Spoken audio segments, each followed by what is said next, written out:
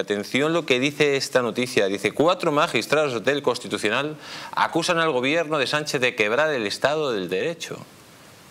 Cuatro de los once magistrados que componen el Tribunal Constitucional han alzado su voz contra las maniobras del gobierno socialista de Pedro Sánchez para erosionar la independencia judicial mediante la reforma legislativa que cercena competencias al Consejo General del Poder Judicial cuando sus miembros están en funciones. Estos cuatro magistrados que componen la minoría del TC, no afín al Partido Socialista Obrero Español, censuran que los socialistas y sus aliados comunistas e independentistas han traspasado los límites de la Constitución para debilitar la independencia del Poder Judicial en su conjunto, lo que supone incumplir el principio de separación de poderes inherente a nuestro Estado de Derecho. Partido Popular y Vox recurrieron a esta reforma legislativa ante el TC que la han acabado hablando de la mano de los magistrados afines a la izquierda. Pues amigos, es que no es que se lo diga yo, se lo dicen cuatro magistrados del Tribunal Constitucional, por cierto, vaya negociación que hizo el Partido Popular eh, para que, se quedara en una minoría, tan minoría, 4 a 7. Es que, es que vamos, sabiendo lo, que, lo que pasaba, siempre estamos en lo mismo. Y ahora, pues lógicamente, eh, eh, el Tribunal Constitucional, que tiene que ser un garante de la Constitución, pues directamente no es un garante de la Constitución, sino es el mayor enemigo en manos de Conde Pumpido.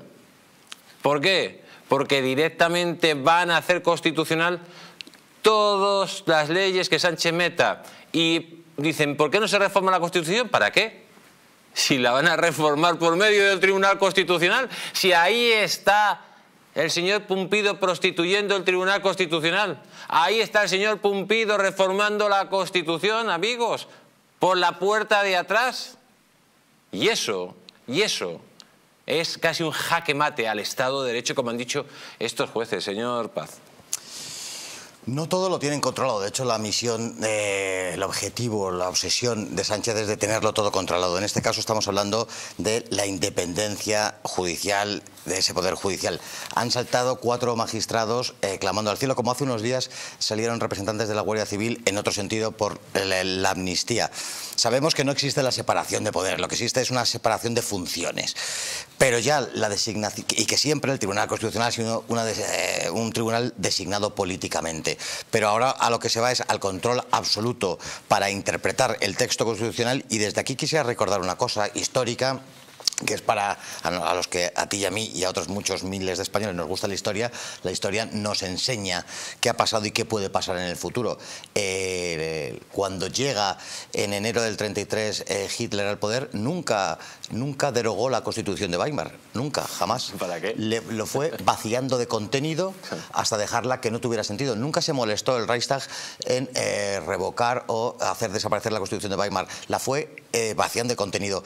Eso, ese procedimiento se podría, yo creo que es uno de los objetivos de Sánchez de hacer con esta Constitución, una Constitución que por demás habría que decir que es ambigua en muchos eh, temas importantísimos y precisamente esa ambigüedad es la que permite ir transformando el sistema en otra cosa, que es la obsesión y el objetivo de Sánchez.